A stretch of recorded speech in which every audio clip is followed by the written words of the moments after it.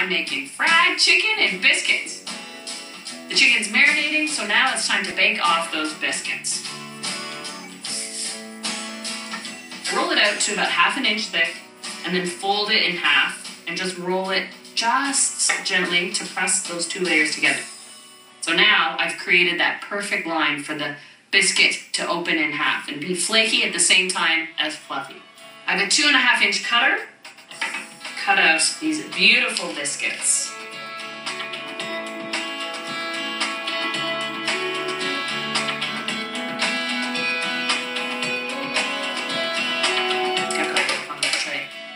And there's no need to waste the scraps.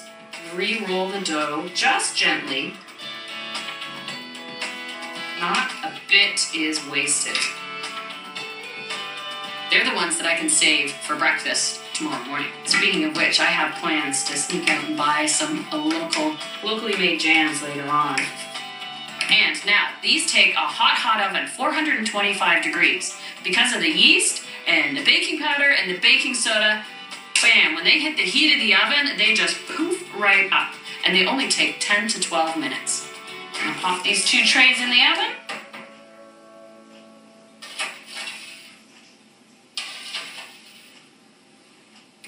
And in that time, I can get the chicken started. I've got a pot of oil filled just halfway that I'm slowly heating up here. I'm trying to bring it up to 350 degrees Fahrenheit. I'm using vegetable oil. So we've got the marinated chicken.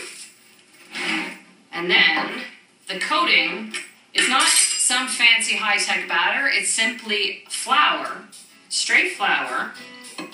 Three cups should be enough and with a little more salt and pepper, because even though I season the buttermilk, you still have to season the outer crust layer. And then my little secret for the crispy, super crispy coating, baking powder. And that promotes crispness. So the same thing applies even just to a dry flour mixture. So I just stir that into the flour and it does the trick. Let me get the chicken coated. So I shake off a little of the buttermilk, but not too, too much. This recipe is one of those that the crispness stays. So you can even fry the chicken ahead of time and then just rewarm it and it stays just as crisp. All right, the oil just hitting 350. So it's time to drop in the chicken. And when I say drop in, I mean carefully lower away from myself so I don't splash. Oh, it smells good. I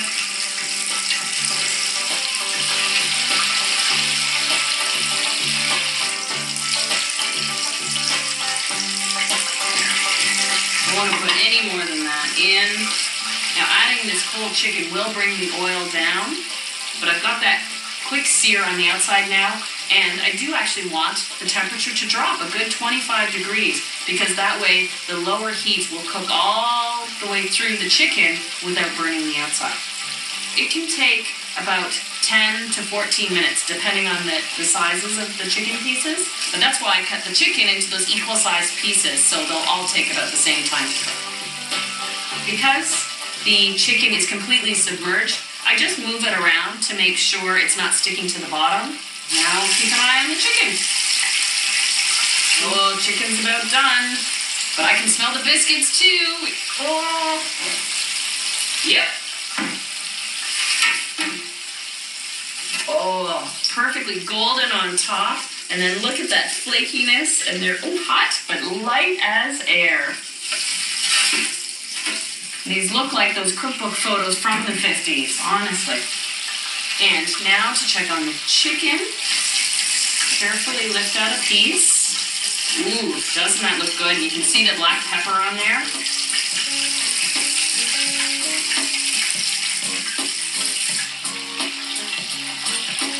Smell of biscuits are killing me.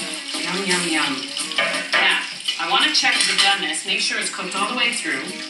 So you can do it two ways. You can cut open into the chicken but look right to the bone. And so long as there's no pink visible near the bone, you know the chicken is cooked through or you just use a temperature probe, go right into the center, and make sure it reads 165. So it's fully cooked. So I'll keep doing this by small batches. Then I'm gonna eat a biscuit, and that's gonna give me my craving for jam because I have to go visit Anne at Kurtz Orchards. She makes some fantastic jams. And you know, I think I need some jam, not just for dessert, but for breakfast tomorrow with those leftover biscuits.